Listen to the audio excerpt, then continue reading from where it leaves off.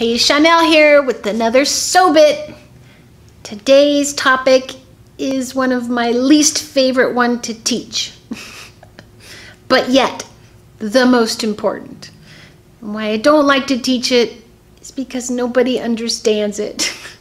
It's a very simple concept. Uh, people just seem to have a hard time wrapping their heads around it. Um, and I don't know. I mean, all I can do is keep trying to show them, trying to show them, and then it locks in their brains. But um, I don't know. I don't know if they know the importance. Why so much? They have to go to design school to understand pattern making and things like that to really understand the importance of it. But have you ever bought like a shirt or something, or even pants, um, and you, you wear it, and then all of a sudden your side seams start to walk around to the front of you? That's when your grain lines are off. So grain lines are the way the thread runs in your fabric. The fabric is woven correctly, you just cut it out incorrectly. You don't honor the grain line that's on the pattern that the designer puts there when they're draping and making the pattern. And then you are supposed to put that that grain line that they give you onto the grain line of the fabric. And when you just put it on the fabric anywhere, you get a mess. So, and there's even like Levi jeans, they actually purposely cut the left leg off grain so that they can squeeze it into the width of the fabric. So if you ever see them, they're like not the real expensive ones, but the Levi jeans, so, so the grain line, that side seam right there, it's not the grain line, the side seam, but the side seam will wrap around to the front of the foot. So grain line is how the fabric hangs straight on our bodies. So it's really important. I actually found this picture right here of a beautiful dress. Look how smooth this is.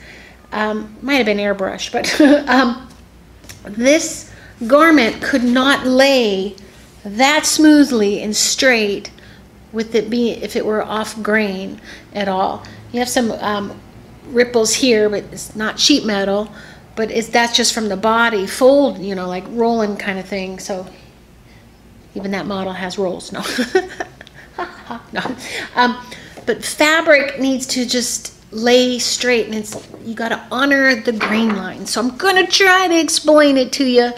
Um, I even looked in my old trusty Vogue sewing book and could not find, actually I didn't look deep, but I just went to the index and grain lines. It's one little blurb on page 68, right up here about grain lines. And it just says, most often says the heavy solid line with arrows at either end indicates the direction of the grain. That's the grain line that is written on the pattern.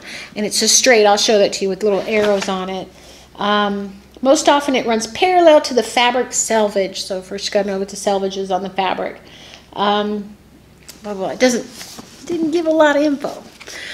I have gone to the internet too to look up how other people try to teach grain lines and um, have not found the, like the best way yet. But I think it's just a little bit of showing it, showing it, showing it that starts to make sense. So the reason for it is you want your garments to hang straight. So I also have, this is Looming 101.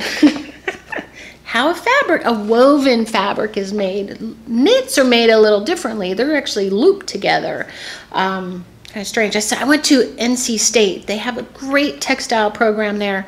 Um, you go down in the basement, it's all these looms and knit looms. They actually will make a fabric in a circular way, like the knits. And um, so knits are a different story. That's why my beginners, I always want them to sew on wovens at first so that they understand the concepts of fabric weaving, um, the characteristics of fabrics before they get into a knit because um, knits have a whole different characteristic. But anyway, back to the loom. So this loom, um, so you got to think about, here's the, the bar where it um, ends, it gives you the width of the fabric. So this ends up becoming the selvage of the fabric. When it's cut off, um, and you'll see selvages are look differently. Some have little frays on the end, some are completely bonded, um, that kind of stuff. So I think, I don't know if I showed you my other sew bits, but I'll show you. Then, so you have all these threads coming down. They could be like 50 yard bolts. So they have 50 yards going one like, I have no idea how they make these in large quantities like this. It could even be 100 yard bolts and more. Um, big factories do this. All these threads coming down. Then there's a another thread, doo, doo, doo, up, down, up, down, basic weaving that comes in and creates the fabric. Nice basic woven. You also have little different patterns, like it might go down one, up three, down one, up three, down, like that kind of stuff. That creates like satin weaves, twill weaves. There's different patterns in here, and that's how you get different fabrics. Um, then you have the jacquards. Don't know how those are made, but um, those don't tear or anything either. Those are a little differently. That's when the design is woven into the fabric. So there's designs that are printed onto the fabric, then there's designs woven into a fabric. So whole science behind that four-year program at NC State, if you really want to know it. so basic one, 101 loom on woven fabrics. Um, so on a pattern in here, they, the number one thing for me on how to do a, to look at is the grain lines on this. This is this pattern here. This is a pattern that they're not making anymore, but I, when my students get out of 101, I have them make this pattern next because it's a simple skirt, but there's, there, it's, it's a skirt with weird looking pattern pieces that you like. Well, that's not a skirt, but um, I love it because it's got one piece that's on the bias, and then there's these other like weird, asymmetrical skirt. So it's like a, um, your left side's a little different than your right side, that kind of stuff. And this is the actual pattern. You open it, um, and then there's the pattern pieces. So you got the shapes of the pieces, and then you see those lines in there. Nobody pays attention to these. These are the grain lines. These lines are supposed to run parallel to the selvage on the length grain. I'm going to show that to you. Um, so real important for this whole skirt to hang straight. You don't just pop it on anywhere. These are called the cutting layouts. And if I put this over on this side, this is how you cut some of these pattern pieces. Well, actually, I'll show you on this one. This one right here is all, there's only four pieces on there. And these are actually shown, um, there's the grain line right there. They're all in the, the, the pattern shapes and the grain lines. These are all running parallel to the selvage. You see how they're now going all parallel to the selvage. And then these were the shapes, which they're just kind of all in here weird. But that's where the designer drafted this whole pattern and starts with it hanging straight and then moves the pattern pieces around to create the look. So that's how it works. So um, I'm going to give you a little example on some fabric, what this grain line's about, and then I'm going to show you on a dress form um, how it's supposed to hang. Okay, here we have a basic bolt of fabric. This is a 45 inch wide. It's a cotton flannel, just woven very basic um, wise. This right here is the selvage of the fabric. Right here, that's the end bolt. That's where it was uh, put right. These are like the two selvages. And then this is the width. That's the length. So it's be like the, this is the length, the whole length of the bolt. This is the width. The fabric only goes so wide. This one happens to be 45 inches wide. And then um, so there's, and then there's the bias, uh, which is a whole another story, but it's okay. so this is the selvage. You see how this one has the frayed edges right here? That's because it was cut off the loom right there. Some will just be very bonded. Some will have a whole bunch of holes in here. That's where the it's tacked there. Um, so this is selvage. Right there, selvage. That tells you which way the length grain is running, okay? That's these threads right here. They're running straight down. Then you have your cross grain going up, down, up, down, making the fabric. And actually, if you look at this right here, there's a cross grain being torn out. So that's why I like flannel. You can actually pull these pieces out. So there is some, eventually they stop.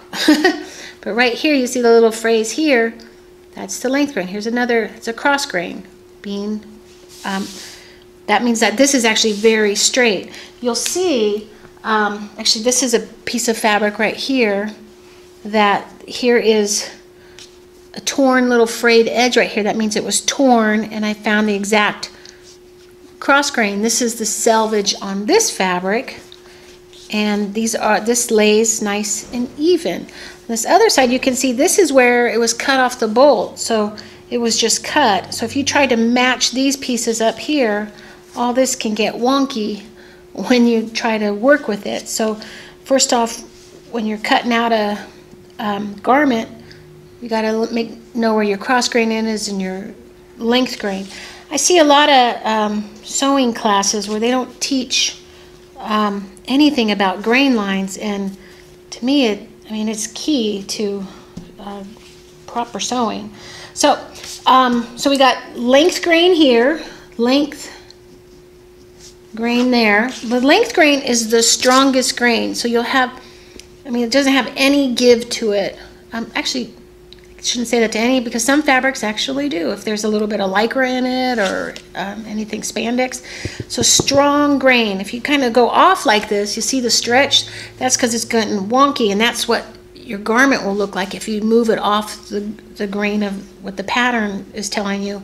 Um, and a, um, that's what you want it to, so it should be nice and straight. The cross grain across here is it's cross grain, has a little bit of give to it, like that. So I always think of cross grain as going across your body, like around your body, because it's a little bit softer. It moves a little bit easier, that kind of thing. So if you actually were to cut a garment I say, waist down on the cross grain, this would stretch out and it would just look terrible. What if you put a pocket on here and you're like putting your hands in the pocket like that? All this would stretch, stretch, stretch out. And worse yet, if it was on like off grain, then it would really be stretching. It'd be looking like that when you're wearing it. Now there's another grain in here and that's a 45 degree angle going straight through the length in the cross grain, and that's called the true bias right here. And that just has a beautiful drape to it. It will actually fold evenly, and that's what they make bias cut skirts and um, any kind of garment. And they're usually smaller because when you go on your bot on the body, they actually have a natural stretch, and they'll hug your body like that. And they just have a real pretty drape to it. So um, that's what you call the bias uh, grain line. So you got your length grain that runs up and down the selvage of the fabric, and the selvage is just that end part. So you got your length grain, then you got your cross grain, and then you have your bias grain. Um, bias grain is a whole other thing. We'll get into that later. So then actually you could clip the fabric here and tear it. It will tear perfectly even right down the cross grain right there. It cannot go crooked because it's running right down that stitch. So a lot of times I'll go to fabric stores and if they don't know about fabric, I'll ask them to tear it so that I can actually bring it home in a nice even piece, not looking like this. How do you say? Not looking like that, all crooked. Um, and they, they go, oh, it ruins the fabric. What it does is it kind of puckers one little part, but you iron, like this fabric is like nothing ruined, you just iron that over. I do have another fabric, it does ruin about a quarter of an inch of the fabric, but so what? This is actually worse being ruined here, whatever word that means. But look at that, it's nice straight, straight piece, like that. So sometimes you're making stuff and it's gotta be squares, it's perfectly straight. So now I wanna show you how a little bit further into this how uh, a square piece would of this fabric would look on a dress form. Okay, so I have a square piece of fabric here. I have the selvage here. I can tell it's the little bonded part. It's got little fuzzies here. Not to be confused with the cross grain that I tore also has it. That's where it can get a little um, confusing, but if I wanted to know, I would pull this nice and tight woven here versus here has a stretch to it. So I know the length grain a strong grain. It's going down the selvage. So I put um, this line here, you just put it anywhere on there, um, and it is parallel to the selvage, completely parallel to the selvage. So parallel means alongside, evenly against each other. So it's parallel. Then the cross grain went uh, the other way. I don't know the word for that. There's a word. Perpendicular? I don't know. so this is how a designer will start. They'll start with the, they'll get a block of fabric and they'll start, um, right here's your center front, and they'll start their design uh, with that length grain that's right on the fabric, right into the uh, center front right there. So that is exactly right on there. The cross grain runs right across too, so they are going to watch that this goes uh, evenly around that part there. And then your bias grain is going like that and has that stretch to it. So basically that's how you want your garment to hang. So if you actually had a dress like bodice and you just popped it anywhere on your garment, you might end up with, let's say you just went a little off right here. And so you're, you know, just popped it on there and you were wearing it like this, you'd have like these wrinkles kind of going all over the place. It'd be like not real smooth. So um, that's the importance of making sure that your length grain is going straight up and down so that you, I lost my picture, but so that you get that uh, look that was in that light green dress, just like sheet metal. So it looks straight. So you don't want it all bubbly all over the place. You don't want this side seam walking over to your front. What it's doing trying to find its center. So, so grain lines, just you know, Google them Google it, see if you can try and understand it more, and then really pay attention to your cutting layouts and stuff, and all of it starts to really make sense because it's a very, very simple, um, how do you say, process. It's a it's a simple something. Can't even say the words, but just you got you just got three. You got the length grain, the cross grain, and the bias grain. The bias, I'll show you I'm going to do another sew bit about working with bias. And it has a nice, beautiful stretch to it. Like that will go around curves and, hmm, got a motorcycle out there. Tough guy. Anyway, but um, more to learn on there. See you in the next sew bit.